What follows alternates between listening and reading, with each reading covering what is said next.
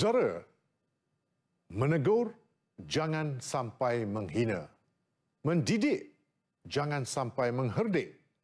Meminta jangan sampai memaksa.